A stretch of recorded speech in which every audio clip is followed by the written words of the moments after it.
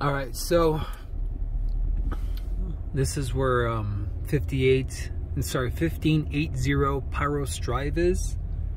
So it's actually behind me, but I just kind of passed a little bit. So there's a school here.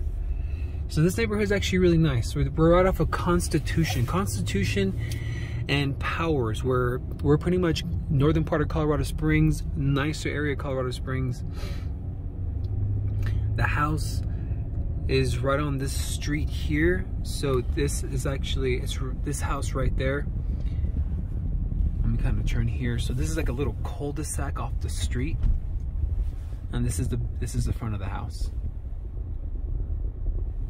We'll be going in just a bit, but I just kind of want to walk, drive around the neighborhood so you can kind of see what it all looks like.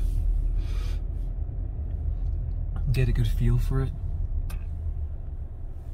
Really nice, really nice area. This this Constitution's right up, right down that way.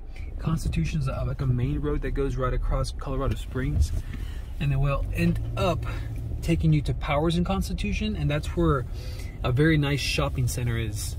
We kind of pass by there. There's like a Best Buy. There's tons of other rest. There's tons of restaurants and shops and and um, there's a Safeway off of there. There's basically everything you need right off of there. So it's probably from right here, a, a movie theater.